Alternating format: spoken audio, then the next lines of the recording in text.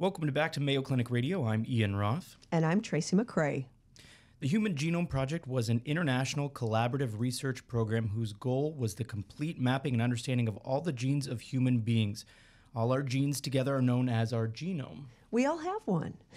With the human genome sequence complete since April of 2003, scientists around the world have access to a database that helps accelerate the pace of biomedical research and, in turn, improves patient care. And here to discuss the medical advancements in the 15 years since the Human Genome Project was completed is the director of the National Human Genome Research Institute and the National Institutes of Health, Dr. Eric Green. Welcome to the program, Dr. Green. Happy to be here. This is um, an amazing new world, and it's 15 years that we've been talking about genetics. That reading that script, that was surprising to me. Well, actually, we were talking about genetics for much longer. We've been talking about genomics only for about 30 years because that's how young the field is. But you point out a really important historic milestone, which happened 15 years ago when we completed this audacious effort called the Human Genome Project, which at its core was about reading out the letters in the human genome. The human genome is all of our DNA, it's our blueprint. So this was our first real readout of what what, where, what were those letters and how were they ordered? Because it's the order of the letters that contain all the information for making and operating a human being. How does knowing that human genome affect patient care? Why does it matter? Well, so much of medicine, and I'm a physician, uh, and I learned this in medical school, so much of what we were taught in medical school is about treatments that work for the average patient, because that's the best we can do. The problem is none of us is average. Every one of us is unique. And one of the differences, or many of the differences that between any two of us are slight um, changes in our DNA, in our genomes, just, just different letters at certain positions. In fact, we differ about one out of a thousand of these letters. And what we know as physicians is people are not average, but up until now, we've not really had the way to look into their blueprint and figure out how each of us is unique. That's now changing because we now have the fundamental knowledge of the human genome, and importantly, we've developed technologies for being able to routinely read out a patient's genome. And now we are slowly but surely figuring out how to look at those differences and make medical decisions based on it. You brought up an important point there. This this was an, an audacious project at the beginning to originally map the genome, but since then, technology has improved. We've come a long way since then. What advancements have we had since the original uh, plan to map the genome? Wow, I mean, it's been a spectacular 15 years. I mean, if I just gave you a highlight reel, the, the first thing we did is we developed ways for sequencing the genome for determining the letters, reducing the cost a millionfold. That first sequence of a human genome cost about a billion dollars. We can now do it for about $1,000. And $1,000 is a very reasonable clinical test. And so now this means you could really use this uh, for clinical care. Second thing we did is we used those technologies and we've gone from sequencing one human genome to sequencing hundreds of thousands of genomes and making that data, those differences among all those people around the world available to scientists. So we have catalogs of the most common differences, different spellings in our genomes. We've layered on top of that a, a growing knowledge of how does the genome work. There was one comment you made in the introduction about the Human Genome Project it, it, that implied, and, and I know you didn't mean it, but it implied that the Genome Project was about understanding all the features of our genome. It really was just the most early understanding. In fact, just laying out those letters was the beginning of probably what will be a multi generational challenge of understanding, interpreting all of those 3 billion letters that are in our genome. But we've made progress in the first 15 years. And then, importantly, as it relates to medicine, as we've begun to use this technology and this knowledge for being able to figure out which of these spelling differences play a role in our health and disease. And we're learning a lot about the DNA basis of many diseases. Why is this a multi generational process? That's an interesting word to use, but explain yeah. that a well, little you bit know, more. it's part of it is to manage expectations. I mean, we, I mean, first of all, I sometimes make analogies to the literature. You know, famous novels or, or, or you know, great Shakespearean plays. We still have scholars interpreting those, and that's many generations later. So that the human genome that consists of four building blocks that we abbreviate GATC, and there's three billion of them and it's in, in some sort of fancy code. It's the order of the GATCC, somehow encodes all the information necessary for life. And we barely understand how it does that. We've, we've figured out the genes. The genes are building blocks in our genome that code for proteins, uh, or the genes code for proteins, which are the building blocks of our cells. And we know that inventory is about 20,000. But you know what? It, the complexity is much greater than our genes. It turns out we have all sorts of circuitry and dimmer switches in, embedded in those letters that determine where, when, and how much genes get used by different cells at different stages in your body or how you react to the environment and so forth. It is really complicated.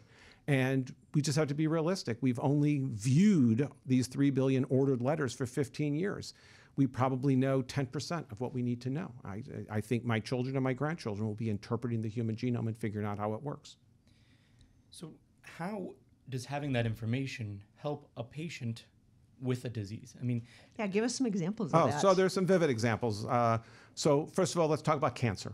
Um, cancer is going to be the earliest area of medicine um, affected by genomic advances. Why is that? Cancer is a disease of the genome. The reason cells grow out of control and form tumors is because their DNA, their genomes have picked up changes that make those cells grow out of control. We can now easily read out the letters of the genome of a cancer in that particular patient, in a given patient, and learn a lot about their specific cancer. And from that, we're slowly being able to use that information to better tailor their care. So much of cancer treatment up until now has been imprecise. We just try sign. If it doesn't work, we try sign else. If it doesn't work, we try sign else. We're now being able to upfront have information based on the unique genomic derangements in each cancer. It's just early days, but that's going to be a huge growth area in the next 10 years. It's one area. Second area, rare diseases. We are now to a point that you have a patient, you don't know what is wrong with them, you sequence their genome. In a third to half the time already, you can figure out what's wrong with them. That is just mind boggling. Six years ago, we thought that was impossible. You can do that with rare diseases because rare diseases usually have a single genomic change that causes the disease. And then pharmacology and, and combined with genomics. Why is it that some people respond really well to the same medication as other people who respond incredibly poorly? Why is it? It's just imprecise. We're learning that there's slight spelling differences in each of our genomes that influence how we metabolize drugs. And so we're getting to the point and putting the two words together. It's pharmacogenomics, big word, but it's basically before you make a decision about whether to give a patient drug A or B or C, learn about their genome, read out their genome, and better select whether it's A or B or C based on their unique genomic makeup. Okay, well, if you've got cancer is one of the reasons, or some strange disease that you can't figure out is another one, maybe not everybody needs to have their genome sequenced until you get to that pharmacogenomics point. And almost everyone takes some medication or will. So, should everyone talk to their doctor about getting their genome sequenced, or where are we at in that process? I think where we're at is while I've given you highlight examples, um, even with pharmacogenomics, it's not that we know for every drug the genomic variants to look for to dictate which is the best medication or not a good medication to give them. We're getting there. Um, so I would say we're not quite there, but I believe in the coming years when we'll reach a threshold where there'll be enough examples, enough uses that people will upfront get their genome sequence and have it be part of their electronic medical record. But but nowadays, if you're going about to get one of those medications where it's indicated, people are getting pharmacogenomic testing done, or if you have a patient with a rare disease or patients with cancer increasing, they're getting genome sequenced. What's the biggest obstacle to applying genetic testing to uh, everyday practice that a physician has? Probably the biggest obstacle is we're not quite at the threshold where, where genomic information will really influence what most patients come to see their doctors about. And by that I mean, I, I talked about rare diseases as one category diseases, but rare diseases don't account for most hospital and clinic visits. It's common diseases, hypertension, diabetes, Alzheimer's, autism, cardiovascular disease, mental illness, et cetera. The problem with common diseases is they don't have a single genomic cause. Rather, it's multiple spelling differences in an individual's genome coupled to environmental, social, lifestyle features. And that's complicated. And so we're not quite to a point of being able to predict. Maybe someday we will get to a point where we can sequence a patient's genome and say, wow, you are really at risk for getting diabetes. Let's alter your life in such and such. Or, wow, you really might be hypertensive. Let's have an early intervention. I'm convinced we will get there for some disorders, But in order to figure that out, we need to have much better predictive models. How do you get those predictive models? You need to do very large studies. It's why here in the United States, we're doing the All of Us research program. A million Americans are volunteering to be part of a big study. Multiple other countries are doing the same thing. We need to get data in the, uh, from hundreds of thousands, if not millions of people, genomic data, lifestyle data, electronic health record data, data collected from Fitbits and other mobile sensors. And we need to crunch all that data in a way that will be able to tease out small contributions to disease and will help us understand the multifactorial nature of most diseases that physicians see. Want to ask that last question? Sure. what will it, what will it take and how long before we can routinely walk into our healthcare provider, get sequenced, and have their provider look at the results, make a diagnosis, or prescribe a therapy based on that genetics code? How far away are we from that? So I think it depends on the circumstance. For some things, that's becoming routine. Um, for some kinds of cancer, yes. For certain medications, yes. For rare disease, yes. One thing we didn't talk about for pregnancy, the number one genomic medicine application today is, uh, is the use of something called non-invasive prenatal testing, where women who had traditionally gone through invasive procedures like amniocentesis or chorionic villus sampling to get access to fetal DNA to look for ge- genetic uh, abnormalities during pregnancy now don't need to do that anymore. A simple blood draw from a pregnant mom provides access to little bits of fetal DNA that naturally float around in the maternal bloodstream. And these incredibly powerful methods for sequencing DNA can be used to test mom's blood and will detect the same range of abnormalities that otherwise you required more invasive procedures. It is now predicted that worldwide there'll be four to six million pregnant women who get this non invasive prenatal test done in the next year.